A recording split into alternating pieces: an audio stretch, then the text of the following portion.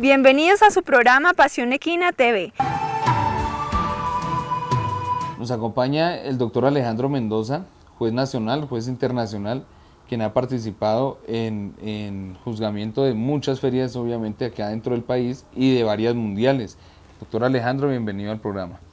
Muchísimas gracias a usted por la invitación y para mí es un placer estar nuevamente en su programa. Doctor Alejandro, ¿qué diferencias eh, existen en, el, en la forma de juzgar una competencia graduada nacional, una competencia grado B, con juzgar una mundial? Bueno, hay diferencias eh, por la cantidad de, de, jueces debido a los, a los países que están participando.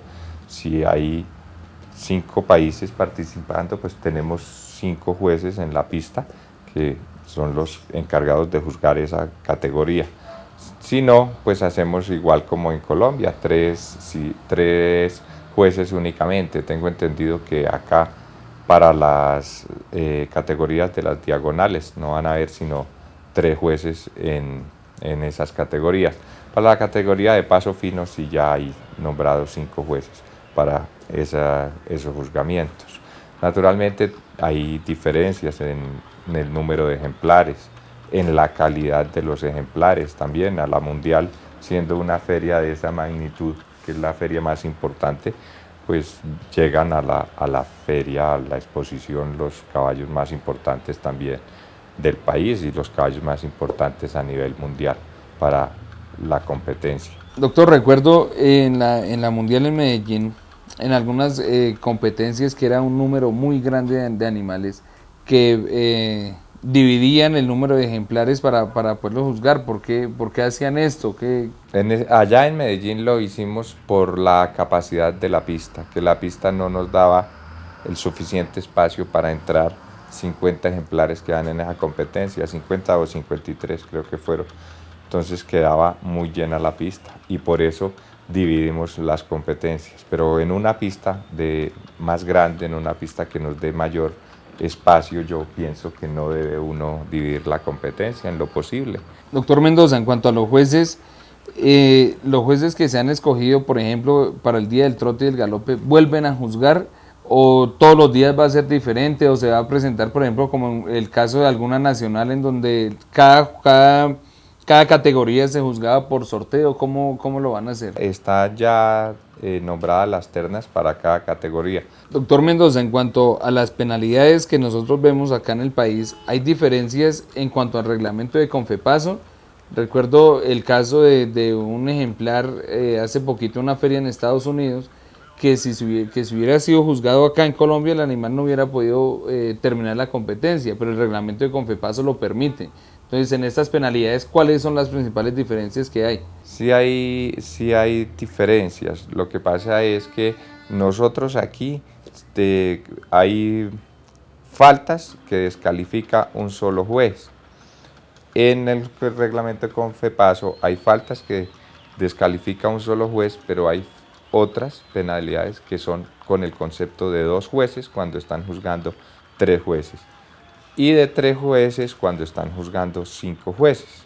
Entonces hay ejemplares que de pronto eh, un juez lo nota que está falseando lo, y él lo reporta, pero si los otros dos jueces no les parece que el caballo está falseando o no lo notan, no lo reportan, ese caballo se queda en la competencia hasta el final, porque no se reportó sino un solo juez. Pero hay, por ejemplo, eh, el caballo que se retaca o el caballo que muestra indocilidad. Sí, lo, eh, con este reglamento de Confepaso, con un solo juez que lo reporte, lo puede lo es retirado. Doctor, específicamente con los colazos, ¿cuál es la diferencia? La diferencia es que el reglamento de Colombia, con seis colazos, el caballo es retirado de la competencia, ¿cierto? Descalificable con los seis colazos. Con el reglamento de Confepaso se le resta puntos, es apenas penalizable los colazos. Doctor Mendoza, aprovechando la oportunidad pues, que me encuentro con usted, quisiera saber acerca de, de, una ley que van a sacar, una norma que van a sacar que dice que ahora en adelante en las competencias los jueces pueden hablar entre sí. ¿Cómo ve usted esto? ¿Por qué llegan a esta decisión? Eso ya lo habíamos ensayado cuando nació este sistema de juzgamiento hace unos años. Hablábamos los jueces después, eh, después de la prueba de calentamiento, antes de llegar a la prueba del 8 y antes de sacar el F1, porque nosotros sacamos el F1 después de que los ejemplares hacen la prueba del 8 y el F2, que es el resultado final de la competencia. En esa época nosotros hablábamos. Después se resolvió, se dijo que no, no era necesario hablar. Ya regresamos otra vez a hacer esta, esta, esta prueba. Yo no veo eso importante, pues no creo que sea necesario. Ya nosotros después de, llevamos con el sistema aproximadamente unos 10 años, yo creo que nosotros ya estamos más que educados para juzgar así. Y todos los jueces que han llegado, eh, los nuevos, digamos, todos su carrera, todo su estudio con respecto a, al, al curso de juez, lo hicieron así, sin conversar. Entonces ellos también están ya educados totalmente para, para hacer el, el juzgamiento de esa forma. Yo pienso que si en el momento que uno habla, eh, pierde la, la, independencia de su juzgamiento. Eh, doctor Alejandro Mendoza, pues le agradezco mucho eh, que nos haya acompañado acá en el programa, que haya, que haya participado nuevamente. Muchísimas gracias a usted por su invitación y ojalá no sea la última vez. ¿Sabías que la vitamina A o retinol cumple funciones esenciales para la reproducción, tales como la espermatogénesis y la puesta ovular? ¿Sabías que el cólico timpánico se caracteriza por la acumulación anormal de gas en el colon mayor o en el ciego? El día de hoy nos acompaña el señor Enrique Francisco. Él fue la persona encargada del transporte aéreo de los animales que van a venir a participar en la, en la próxima eh, Feria Mundial. Eh, Enrique, bienvenido al programa. Muchas gracias, José Luis, eh, por la invitación a estar aquí en el programa de ustedes, Pasión Equina TV. como lo decía, sí, fui la persona contratada para organizar toda la logística para el transporte de los caballos que venían de otros países a participar acá en la Mundial. ¿Qué, qué países van a participar en, en, la Mundial? ¿Ejemplares de qué países vinieron y ya están acá en Pereira? Bueno, actualmente tenemos, ya llegaron todos los caballos que vienen a participar eh, por, por, los diferentes países, ya llegaron todos los equipos, eh, tenemos de Estados Unidos llegaron 20 animales, de Puerto Rico llegaron 10 eh, animales, de Venezuela 11, de República Dominicana 10, de Aruba 3, de Ecuador 2. Más o menos ese es el, el, balance de los animales que vinieron. ¿En total cuántos animales son, vienen de afuera? Estamos hablando alrededor de 60 animales. Enrique, ¿cuál es el proceso eh, regular que se debe seguir para traer un animal eh, del extranjero acá a Colombia o para uno poder exportar un, un animal? El proceso es, es, diferente si hablamos, eh, en este caso, de una competencia, es una importación temporal, o si es una importación ya definitiva.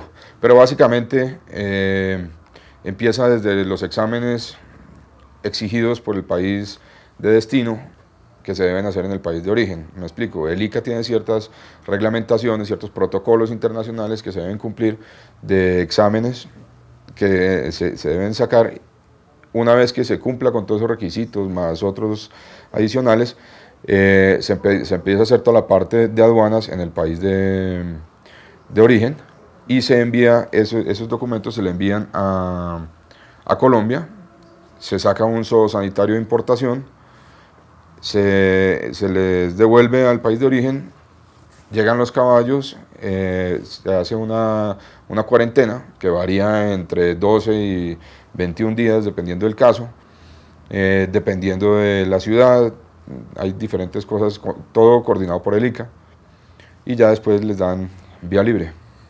Expliquémosle a los televidentes en qué consiste este proceso de cuarentena y por qué se debe hacer. El proceso de cuarentena es algo básico en el movimiento de, animales, no solamente de equinos. Eh, lo que es el, objetivo del, proceso de cuarentena es que los animales del país se cuiden y se resguarden de cualquier enfermedad que vaya a entrar nueva al país. Eh, me explico, si por poner un ejemplo, eh, hablando de ganado, si Colombia está libre de aftosa y viene un ganado y viene contaminado o algo, pues no puede entrar al país, no va a contaminar el resto. Lo mismo en, en equinos, por ejemplo, con la anemia infecciosa equina o con cualquier otra enfermedad de las que se manejan, la arteritis viral equina o no sé. Eh, dentro, de los, dentro de los animales que, que, vienen de afuera, sabemos que hay animales que, que, ya tienen trayectoria, han tenido muy buena trayectoria tanto en competencias acá en el país como por fuera. Hay otros animales que por primera vez eh, vamos a tener la oportunidad de ver, vamos a tener la oportunidad de compararlos con lo, con lo, con lo que hay acá en Colombia. ¿Cuáles ejemplares eh, que sean muy representativos del paso fino vienen? Tenemos animales eh, muy importantes a, nivel mundial, eh, como el caso de la maraquita La Rosa, la maraquita La Rosa, tres veces campeona mundial. Eh, ya se encuentra acá, va, a competir en representación de Puerto Rico.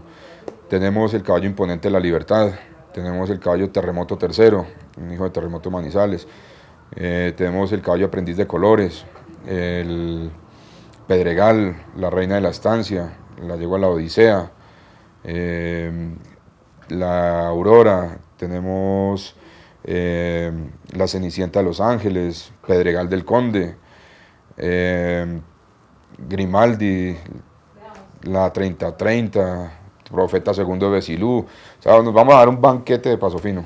La 3030 que fue la que le hizo el reservado a la ponderosa estrategia, ¿no? Acá nuevamente se van a volver a encontrar esas dos yeguas. Correcto. Tenemos animales también como Compromiso del Secreto, que fue eh, eh, campeón reservado mundial.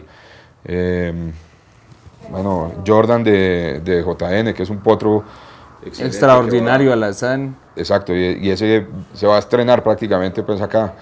Soberbio el Pórtico, también que es un, potro que creo que quedó primer puesto en la Copa de las Américas en República Dominicana. O sea, vienen bien preparados y vienen con toda a pelear.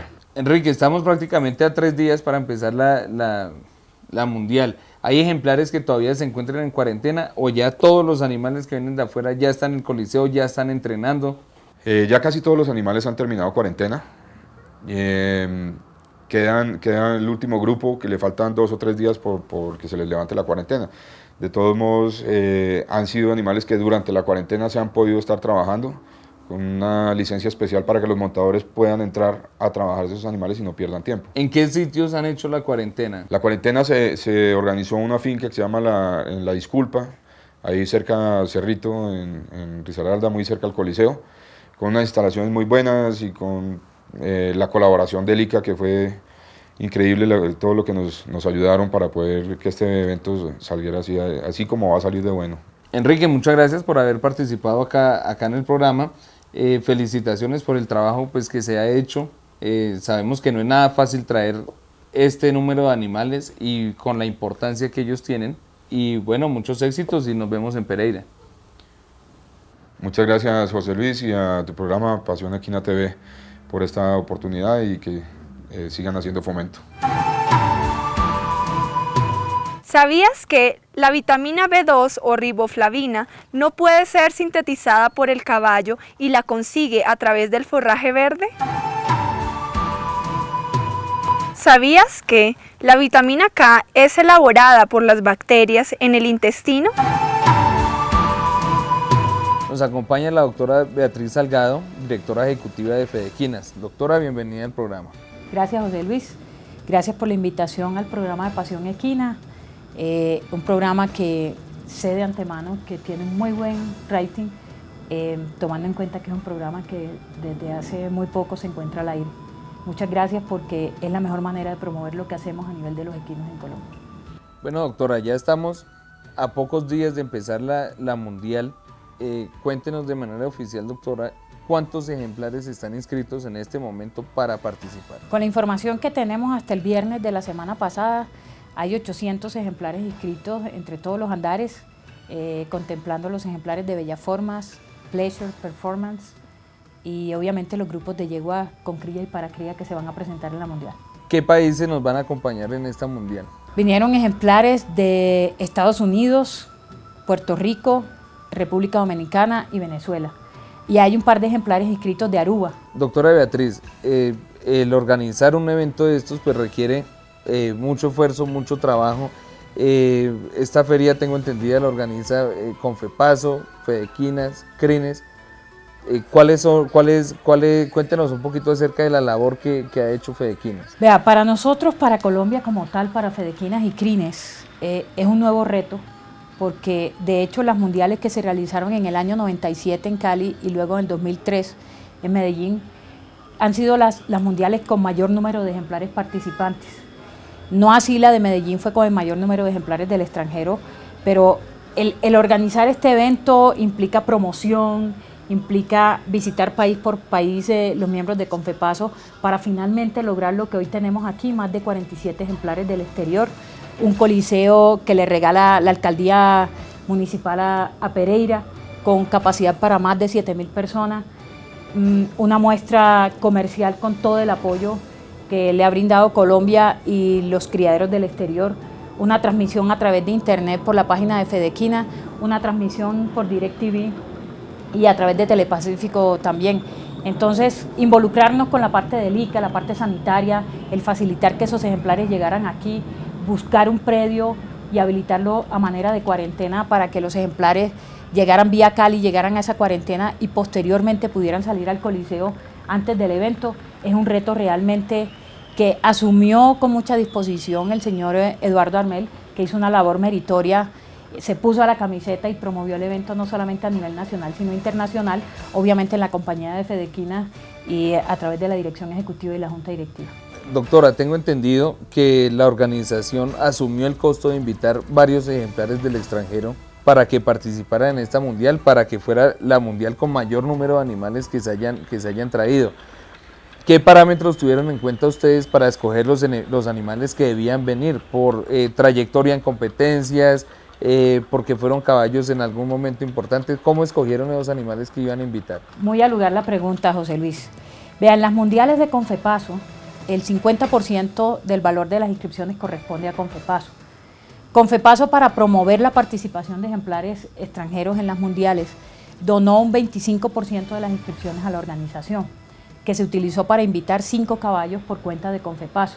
El resto de los caballos de los ejemplares que se invitaron, que fueron aproximadamente 15 ejemplares, se invitaron por la organización. La organización dentro de su presupuesto contempló una partida para invitar los ejemplares que vinieran del exterior. ¿Cómo se escogieron? Se hizo una reunión en el mes de septiembre con presidente, vicepresidente de Confepaso, el secretario, estuve don Eduardo Armel, estuve yo presente, y lo que hicimos fue escoger los ejemplares de acuerdo con su participación y su calidad, obviamente. Nosotros en un mundial necesariamente tenemos que hablar de calidad, y, la calidad se demuestra por la participación de un ejemplar y, y obviamente los títulos que haya obtenido en su carrera tal. Doctora, ¿qué vamos a ver en esta mundial? Bueno, en esta mundial tenemos competencias, uno muy numerosas por el número de ejemplares, lo que nos obligó a cambiar el programa que teníamos para el domingo, las competencias que teníamos de Bella Forma, Pleasure, Performance, eh, tuvimos que trasladarla para el día jueves con, con la Trocha y Galope, que es donde menor número de ejemplares tenemos, tenemos 90 ejemplares ese día, y dividir la, la, el juzgamiento del paso fino entre sábado, domingo por la mañana, porque el domingo por la tarde va a ser, eh, eh, van a ser los campeonatos de, todo, de todas las categorías, de todas las modalidades. ¿Qué tenemos en esta, en esta mundial? Competencia de 55 ejemplares en yeguas de 37 a 48 de paso fino, competencias de 52 ejemplares en esa misma edad en las yeguas trochadoras y de ahí en adelante las competencias en general de yeguas de paso fino van a ser numerosas y con ejemplares de excelente calidad, o sea, competencias de infarto o como diría don Mario Arevalo, de campanillas. De campanillas. Doctora, oficialmente, la programación entonces, ¿cómo queda para que nuestros televidentes sepan qué, pueden, qué, qué van a ver cada uno de los días? El brochure ya está en circulación y vamos a tener trote y galope, todas las categorías el día miércoles 25, el día 26 arrancamos desde las 9 de la mañana con trocha y galope y vamos a tener bellas formas. ¿Por qué bellas formas? Porque los ejemplares que participen en bellas formas tienen que participar en montados en su competencia, en su categoría de acuerdo con la edad. Y van Pleasure, Performance, eh, dueños montados, que van a salir unos en Performance y otros en Pleasure. El viernes comenzamos a las 9 de la mañana con la trocha, tenemos 222 ejemplares inscritos.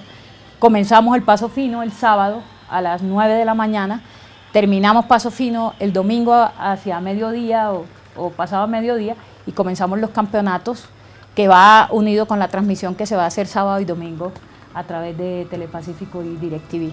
Esa es básicamente la programación. Eh, doctora Beatriz, hay mucha inquietud con respecto a la boletería. Eh, pues de antemano sabemos que ya todos los palcos están vendidos, que un alto porcentaje de las sillas VIP están vendidas. Eh, para las personas que de pronto quisieran asistir a este evento, necesariamente tendrían pues que entrar con boletería en general. ¿cuántos, ¿Cuántas boletas hay para, para poder ingresar a la feria?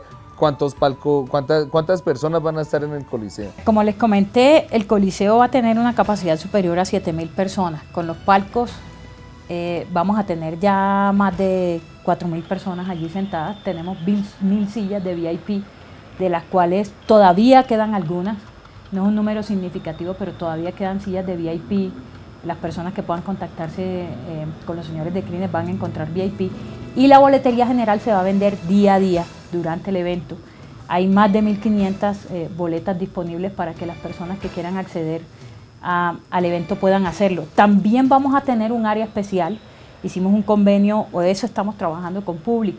Hay un área donde se puede colocar una pantalla gigante y de pronto las personas que no tengan acceso allá puedan llegar a ese sitio y verlo en pantalla gigante y sentirse dentro del Coliseo casi que viviendo la Mundial al mismo tiempo que nosotros. Entonces estamos contemplando esa posibilidad porque sabemos de antemano que mucha gente se va a quedar sin ir, como cuando usted organiza un concierto de un artista famoso, eso pasa, si usted no compró las boletas a tiempo, se quedó lastimosamente sin boletas. Bueno, doctora, eh, le deseo eh, muchos éxitos en esa Feria Mundial. Eh, sabemos que el esfuerzo que ha hecho Fedequina, Screenes, con Fepaso ha sido muy grande y que definitivamente esta feria va a ser un éxito por la cantidad de animales, por la calidad de animales que, van a competir y bueno, eh, por favor invitemos a, todos nuestros televidentes a que, a que participen de este evento. Eh, la invitación muy cordial para todos los aficionados caballistas del país y en general a que disfruten de esta mundial que va a marcar la historia del caballo de paso en dos. Eh, un evento no solo con categorías numerosas, sino con buena calidad. Vívanla en el Coliseo, vívanla a través de la transmisión tenemos televisión, tenemos internet, no se la pierda, los esperamos en Pereira del 25 al 29 de noviembre de este año. Bueno, doctora, si Dios quiere, nos vemos entonces en Pereira. Gracias, José Luis, y gracias a Pasión Equina y a quienes nos están viendo.